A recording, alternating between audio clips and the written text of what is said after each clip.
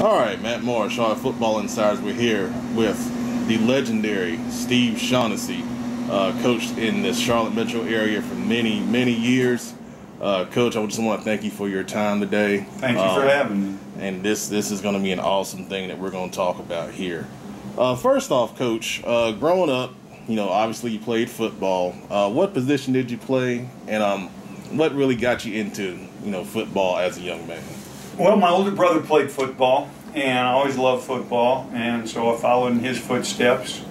When I was in high school, I was a tight end and a linebacker, and then uh, I went to junior college. I played uh, safety and out and wide receiver, and that's what I played when I went to college at Northern Michigan. Uh, I was fortunate enough to go play for a great coach at Northern Michigan. His name was Rollie Dotsch.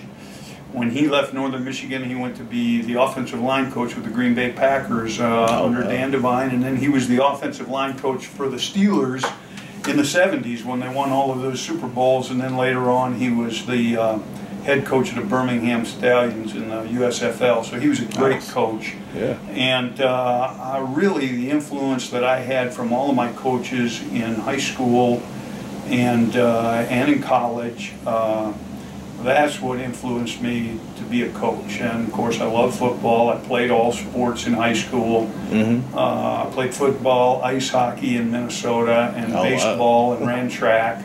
But uh, you know, my first love was always football, and uh, so you know, after I got out of college, that's kind of where I started out and made a career out of it, and uh, enjoyed every minute of it. Loved it. Awesome, awesome, good stuff, man. So, Coach, what exactly got you into coaching? What was the thing that made you want to be a uh, football coach overall? Uh, well, I would say that you know I loved sports. Uh, I was always interested in football. Was my favorite Mm-hmm. uh, from a very young age. Back when I was growing up uh, in 1960 and 61, I was 10, 11 years old.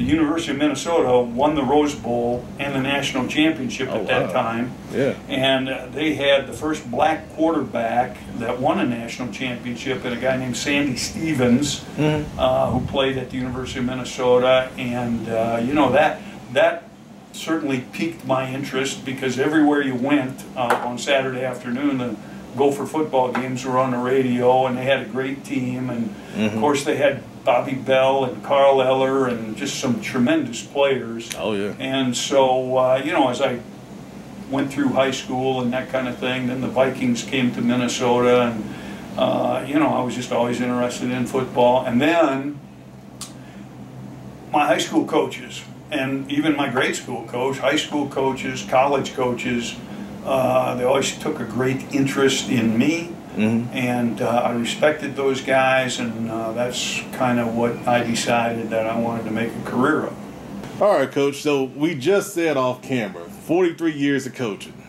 Um, 43 years of coaching, 54 years in football, counting playing. yeah. So, kind of just take us through, you know, kind of each of those stops. What made those places special uh, when you were there? Well, my first year uh, out of college, I graduated from Northern Michigan in 1972. Mm-hmm. And that season, I was the uh, wide receiver coach uh, because you know staffs were small. It was Division two, and they usually kept the receiver from the previous year to be the receiver coach. I did that. Mm-hmm. Uh, then I went to a small high school right outside of Green Bay, Wisconsin, Pulaski High School. I was the head freshman coach Okay. coached baseball and basketball. Um, and then uh, one of the coaches at Northern Michigan, a fellow named Frank Novak, who coached uh, many years in the NFL, he was uh, an assistant coach at the University of Virginia at the time for Sonny Randle. Mm-hmm. So uh, he had recruited me to Northern Michigan. He called me and asked me to be a graduate assistant, and I jumped at the chance. And then the next year, I was the running back coach at the University of Virginia. Mm-hmm. Unfortunately, we only won one game that year, and our coaching staff got fired. Ugh. Over the summer, I went back to graduate school at Northern Michigan, and the athletic director recommended me to the head coach at Michigan Tech, Mm-hmm. uh, a fellow named Jim Cap, and uh, Jim hired me at Michigan Tech as the defensive coordinator at 26 years old. And uh, it was an awesome place, awesome opportunity. The first year we were in the top 10 in the nation in defense, Division two. Wow. And then, but Michigan Tech is in Houghton, Michigan. It's out in the middle of nowhere. I was a young guy, and it was, Mm-hmm. you know, uh, 60 miles to the nearest place where you could meet anybody. so uh, I came to Catawba College uh, Uh-huh. because Warren Clawiter was the head coach. He had been an assistant at the University of Virginia when I was there. Mm-hmm. And I was a defensive coordinator there for two years, and then Claw went into being a dean of students, and I became the head coach for three years. Nice. After that, I went to Garinger, uh, had a couple of great teams there. Yeah, I Uh, think it was was it the '84 team? 84 team Yeah. was fantastic. Uh, we had a quarterback named Gene Brown Mhm. that just got inducted into the Citadel Hall of Fame a year and a half ago. Uh, Awesome. He uh, holds a single game rushing record at the Citadel with 286 rushing yards in a game as a quarterback. Wow. Uh, they ran the wishbone, Mhm. and we had Robert Massey, who Oh, yeah. played 11 years in the NFL. Mm-hmm. And uh, then I went to Clemson, Mhm. and my wife and I lived in the dorm. I was an assistant line coach with Larry Van Der Heyden there. Um, volunteer coach, they called it. Yeah. And uh, then I got the opportunity to come back to Charlotte at Providence Day. Okay. And uh, Bill Rogers was a good friend of mine. We came back to Providence Day. I coached there for just a couple of years. mm-hmm. Coached Reggie Clark there, Yeah. uh, who was a great player. Wound up playing in the NFL for the Steelers Mm-hmm. and uh, played up at North Carolina. And um, from from Providence Day, I went to South Meck. I was there 11 years as the head coach there.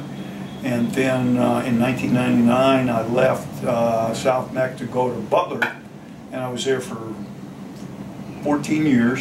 Mm. Oh. And uh, then I retired, and then uh, I went over to Charlotte Christian for three years. Mm-hmm. I was a running back coach there, and then the last two years I was the offensive line and, and coach and offensive coordinator.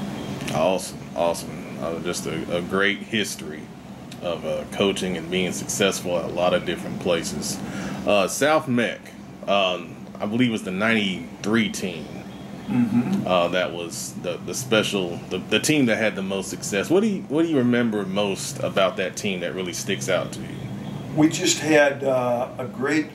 We didn't have a lot of depth, Mm-hmm. but our front line players were fantastic. Mm-hmm. Uh, Colin Harris, who was the most valuable player of the Shrine Bowl uh, that year, his senior year, he was a great quarterback. And uh, at the time, he was a leading passer in the history of uh, Mecklenburg County. Now he's still in the top 10. But Colin was a tremendous kid, lived over in Westwood Homes. Mm-hmm. Um, we had uh, Randolph Slade, we had Derek Falls. Derek Falls was an unbelievable athlete and maybe the best athlete I, I ever coached as far as just Oh, wow. pure athletic ability. That's Uh, saying a he lot. was 6'4", 210, and I kid you not, he was one of those guys. He was he was the fastest player I ever coached. So I'm going to Wow. say he was a 4'3", 40. Nobody Mhm. believes those times, but I'm telling you, that kid was the fastest guy. Yeah, uh, I could point to some things he did on film that were just like unbelievable. Derek Falls, Man. uh, awesome kid, Mm-hmm. and um, so uh, yeah, that that that '93 team was great. That was the year that we um, we had the famous, infamous game with West Charlotte Oh, at yeah. the stadium. We were Oh, driving for the winning touchdown. The game seesawed back and forth, and uh, anyway, uh, we were lining up to kick the winning field goal when the referee blew the whistle and said Mm. the time ran out on the clock. Uh, and uh, but it was quite a game against Tommy. All right, coach. So then you went on to Butler after you left South Meck. What are what are some teams and players that really stood out, you know, at Butler for you? Well, we, we had a great team uh, the first year I went there in uh, 2000. We had two great players that were great leaders in uh, Prince Parker and uh, Jason Anderson. And, uh, well, we had Donald Mills, who was a great linebacker for us. And, uh, course, Barry Shuford was our head coach. Mike Oh, yeah. Was our defensive coordinator. Uh, oh, we had a great coaching staff. And uh, I think that first year we went. Uh, believe we wound up 12 and three. We were ahead of Richmond County at halftime in the playoffs, and uh, they came back and beat us in a great game down there at Richmond County. Mhm. So uh, then the tone was pretty much set. I mean, for the next uh, 13 years, I, I believe we averaged 11 wins a year for for the entire time I was there, and uh, might have been 12 wins a year. I don't know. I saw one point where our total record in 2015 from 2000 was like 200 wins and 50 losses, and Wow. so uh, it was a tremendous run with a tremendous group of players. Um, the 2008 team was great. We had, uh, uh, you know, I think our whole secondary got offered by the University of Louisville. We had Spencer Wow. Adams that went to Clemson, Eddie Whitley that started up at Virginia Tech, Robert Blanton that went to Notre Dame. Uh, we always we were very fortunate in the years that I was there. We had great quarterbacks in uh, in Jacob Charest, who went to Illinois, Mhm. uh, Christian LeMay, Riley Ferguson. Uh, just a tremendous run of Division One quarterbacks, which doesn't Oh, happen yeah. all the time. Uh, some of the great players that we played against. Uh, of course, we played against Chris Leak, Hakeem Nicks, uh, Mohamed Massaquoi, uh, you know, all that group over at Independence for all of those years that uh, were tremendous, and uh, Oh, yeah. it was a great rivalry, and and they were awful tough to beat. A couple of years we went 12 and two, and our only two losses were to Independence. Yeah, coach. Let me ask you about that. Just the coaching battle between you guys and Tommy Knotts and, and his staff. What what was the dynamic, you know, in that? Well, Tommy's a great coach, and uh, my history with him goes way back to uh, when I was at Garinger and he was at Harding. Mm-hmm. And uh, when I was at Garinger, we beat him both years that I was there. The second year, we beat him in overtime. Mm-hmm. And then, uh, of course, when I was at South Meck, he was at West Charlotte. Oh yeah. We had some great games there. And um, then when he moved over there to Independence, you know, they had Chris Leak and they just had great teams and they were really tough to beat because, Mm-hmm. for one thing, they were so big in their offensive line that they were tough to stop. Uh, it was tough to stop their running game, even though Tommy is known as a passing coach, but they, Right. they were such a good offensive line, Mhm. which Hal Brown coached all of those years. And uh, Oh, yeah. it was, it was just as tough to stop the run when it got right down to the nitty gritty. And, uh, you know, but eventually we came out, you know, I, th- I think we, we beat them the last four times we played and towards the end. Uh, Mm-hmm. And then Tommy left and went down to South Carolina, has had great success there. Uh, but uh, we, we got the better of them there at the end. Good stuff, man. Good stuff. And when you got the better of them, did you kind of feel like, you know, you guys at Butler turned the corner uh, to become that dominating team here in Charlotte? Well, yeah, I can tell you definitely. In 1990, in, in 99, the first year I was at uh, Butler, we played Independence and we beat them, Chris Leak's freshman, we beat them in, in six overtimes Mm-hmm. in 99. And Yeah. then we did not beat them again until 2008.